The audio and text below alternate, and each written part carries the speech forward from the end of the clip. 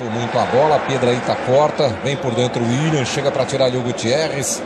Opa! É isso, vai sair cartão ali.